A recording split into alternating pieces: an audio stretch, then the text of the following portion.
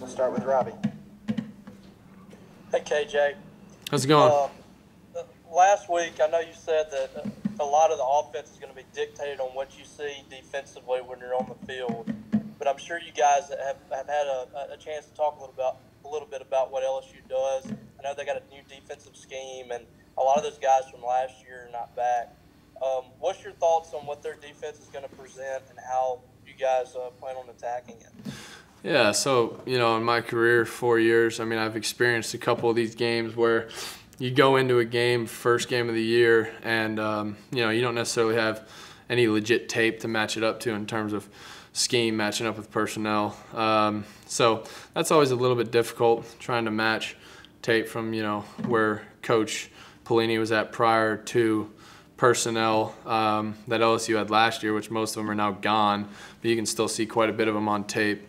Um, so that's always a bit of a challenge. Um, but, you know, there's still tendencies that he's shown for the past, whatever, 10, 15 years he's been coaching, going all the way back to, you know, Tech, when Nebraska played Tech and stuff like that.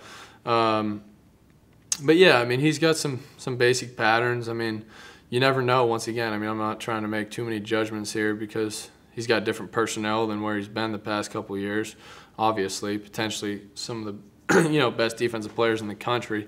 Um, so I'm not exactly sure how his scheme's going to line up, but we're going to focus on doing our job and doing it well. Um, and uh, I think we did that today in practice. We'll go to Ben. KJ, in this offense, I know you're. It's a little bit more like throwing to space versus throwing to a guy or a specific spot. I guess what's that challenge in terms of that? And I guess I know Coach Lee talks a lot about that. This is an offense that you got to rep out a lot is there a, how do you feel like you've come along with that? And i guess how different does that compare to maybe what you've done in the past in terms of what you're looking at play snap to snap? Yeah i think a, little, a switch flip today for me. I think it was the best practice since i've been here um, not just for me personally but as the offensive unit um, without a doubt. Energy tempo execution um, you know i felt like was thinking the least that i've been thinking in two months um, which is fun. Um, I think that I never really even played that way at Stanford unless we were in a two-minute drill. Um, so I kind of tapped into something good there. Um, we're going to try and build off that each day. That's the standard moving forward. But um, yeah, I mean it's it's a philosophical difference. I mean I could sit up here all day and talk to you about it, but at the end of the day, um, we really are just trying to do our thing and do it fast and, and do it right. And you know, thinking about. It. I mean, we've we've really only been at this thing for two months, you know. Um, so today was an incredibly good feeling as a whole. Um, just looking around at the dudes afterwards, um, you know, scout. Even though scout defense, guys are still studs. Not not wanting to pass rush the same, you know, not wanting to come up and press, you know. Um, easy completions, move the ball, um, run when you got, not, you know, just like really simple stuff. Um, I think we got to build off that and make that the standard. Go to Tyler. KJ, you being from California and starting over two dozen games at Stanford, it's, it's kind of all you've ever known. And, and, here you are now at Mississippi State, about to start, you know, for State at LSU. How weird is it going to be? How different do you expect it to be? And, and just what do you expect your emotions to be when you run out onto that field and, you know, you're the quarterback for somebody other than Stanford? Yeah, what was going to happen one way or another, whether whether I went to the next level or not, or you know, playing continuing to play football. But I think football's football. I think that's something I kind of realized. Um, you know, I had such an incredible experience at Stanford. I thought the whole, you know, I thought college football functioned the same way everywhere. I obviously um, realized it didn't. Like I, I knew it didn't, but being in Leach's system and you know being the leader of it, driving the energy, driving the focus. Um, you know, I think people have asked me a lot this week across the board. Where, where are my emotions at? What am I? I mean, honestly, I'm not thinking too much about LSU whatsoever. I've been here two and a half months. I'm just starting to feel a flow in this offense.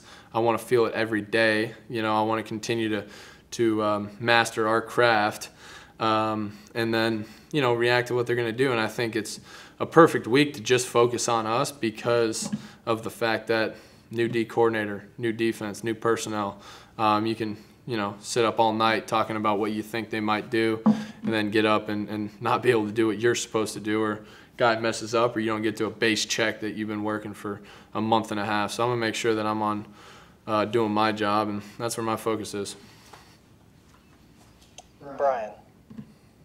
You sort of hit on this in your answer to, to Robbie's question at the beginning, but you know the last two years of Texas Tech for Mike Leach overlapped with the first two years of Bo Pelini at Nebraska. Has he related anything to you as far as you know what he remembers of that defense and those matchups?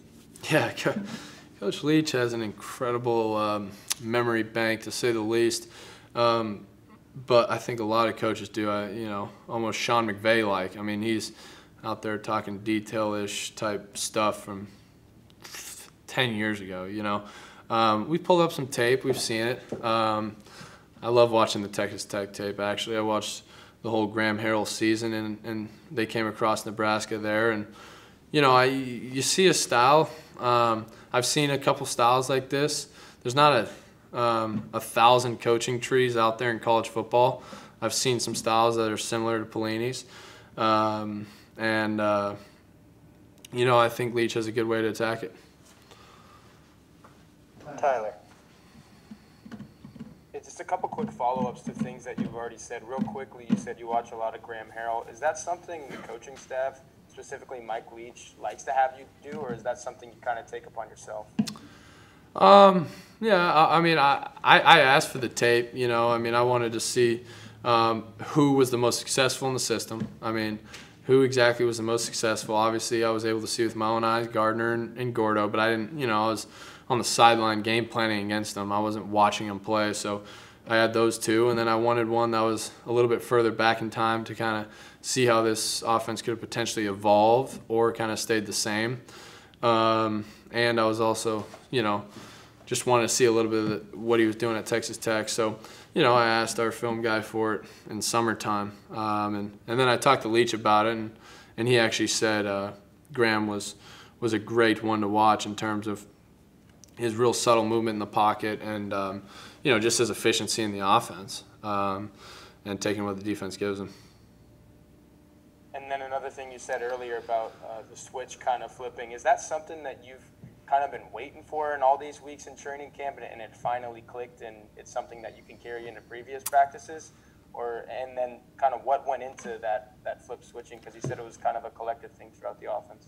Yeah um, you know uh, i'm a little bit lucky in terms of the fact that i've had the switch flipped for me before in college football um, you know i mean was a backup going in my uh, redshirt freshman year or my freshman year. I thought I was going to play, and then all of a sudden, concussion happened, or you know, our starter got knocked out, and that next week practice was totally different for whatever reason. I had already gotten game reps. The speed was different, execution was different, and anticipation was just a split second faster. Um, kind of hard to describe, but I mean, today I think it was just. Uh, God, you get in that camp mode, you're in a new offense, new system, new everything, and you're doing the same thing every single day. Um, it's hard to find something um, that feels drastically different. Maybe it was the fact that we've, you know, had a day off yesterday, came back, had a really good scrimmage Saturday. Um, you know, we actually started started the offensive period servicing the defense by going up tempo as fast as we could. Went five for five, and all of a sudden that carried over into the tempo that I was um, pushing the offense and, and, team period. And I don't know, the switch flipped in terms of I've been operating in a system where I'm battling most of the time getting the play off before the, the play clock. Um, and now I'm in a system where I'm trying to get that thing off as fast as I can. Um, so it's just a totally um, flip mindset from um, the person driving the ship, and you know having the center be on board, getting the guys lined up. It's just um, it's different in that facet. So I think that was more what I was talking about. Ben. KJ, you mentioned looking at some of the little things that Graham was doing and some of those other guys. I guess, you know, when you look at it, I mean, beyond the fact, you know, scoring 100 points and throwing 50 times, like, what does the success in this offense look like to you? I mean, what do you kind of gather the success in this offense looks like? Yeah, I mean, success in this offense, I think, um, a lot of times looks like uh, the you know the defense kind of looking around in, in the third quarter, fourth quarter, like you know tired, not really knowing what hit them. They're very scheme oriented. I mean, I can only speak on our. I mean, what they did to us at Stanford. I watched the game last night. You know, I watched the whole game um, and watched exactly what I did the day the day before in practice. They're running the same plays, just trying to visualize like how were they able to turn my defense around? Who I know all the guys who are really talented, and they just hit them and hit them fast. Um, and I know it's probably sounds crazy to you guys just saying the same thing, um, but it really is. It really is uh, the the tempo and feel at which you know Anthony Gordon was able to move along with. Um, to where DBs didn't want to press, you know, pass rush gets a little weaker. All of a sudden, checkdowns instead of the linebackers hugging him, you know, he's a yard or two off, and that check down goes for 12 instead of one. You know, just simple stuff like that. Um, yeah, that's about it. Robbie. KJ, you felt like you, things are starting to click for you. Where's the rest of the offense, you think, just from what you've been able to gauge from your receivers and, and the connection that you guys have been able to build? Uh, what, where, where do you feel like those guys are in, in the offense? And, Yeah. You know, even Will Rogers behind you. Yeah. Um, I, I you know, I, I told them today I I played a lot of football. I think the most conditioned group I've ever seen in my life. I mean, shit, we went through some dog days in camp of just insane amount of reps, and um, you know, I think confidence was earned there. So I mean, across the board, you know, I think we're going at that same tempo, and guys aren't looking as tired. You know, they're making catches. They're extending their, you know, making catches over the shoulder on a, you know, deep corner route where they need to give a little bit more to finish the play.